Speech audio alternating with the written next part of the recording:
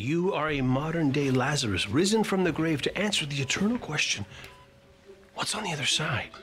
I'm sorry, who are you again? Uh, you'll have to forgive him, Mr. Masters. He's very excitable. Well, excuse me if I find pulling back the curtain on what happens when we die just a tad exciting. Was there a white light or is it more of a, a tunnel thing? The last thing I remember, I was taking my pills trying to get my cable fixed. And then I woke up to an apartment full of police. So, no out of body experience. Do you have any enemies? Me? No. I'm an average guy. I go to work, I come home. But you dream of so much more, don't you?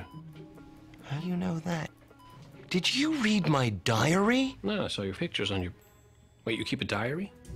As a grown man, call it a journal. What about work?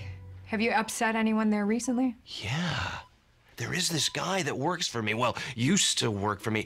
Dave Barton, I had to fire him because he was letting serious infractions slide with just a warning. Was it for money? That was the rumor, and he did seem a little miffed when I let him go. I'll play you the message that he left me. You slimy little maggot. I'm gonna stab you with a rusty spoon and strangle you with your own intestines. Or, or better yet, I'm gonna force feed you your toes, one by one, and then I'm gonna light you on fire. And then first, I'm gonna paralyze you with a claw hammer and then cover you with ants. You son of a bitch! And it goes on and on like that for a while. And you never thought to call the police? On Dave? No. He's just got a big personality. What can I say?